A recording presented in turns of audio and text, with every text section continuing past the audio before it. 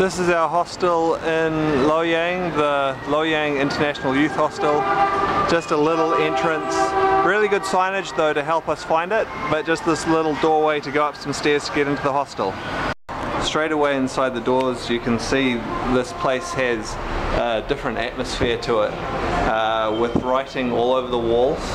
Um, this is something that they do at some of the hostels. They let any travellers write or draw something on the walls uh, sort of to commemorate their stay there.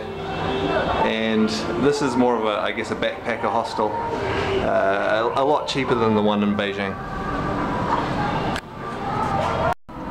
And here's a wall of postcards from people who've stayed here and other mementos reception's on the first floor and it's not too hard to find straight as you come in you're into reception very busy here um, but helpful staff Interestingly, there seem to be quite a lot of Chinese staying here, not just Westerners, which um, makes it a little bit different.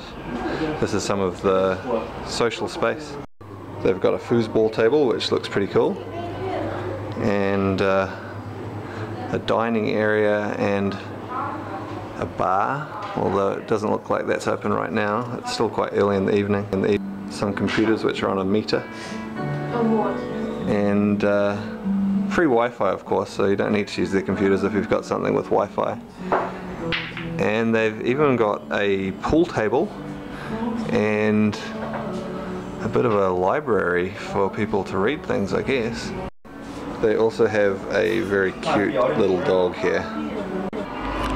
Here are more of the uh, writings and drawings and on the walls of this hostel. Some of the pictures are quite artistic. Some of the writings profound, some rather more basic.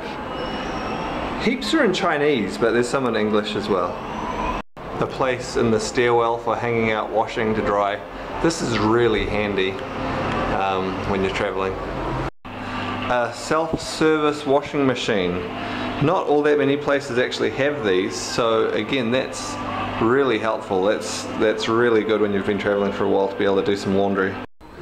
This is our room at the hostel in Luoyang. We uh, went a little bit upmarket and got uh, twin rooms, so just two people per room with an ensuite.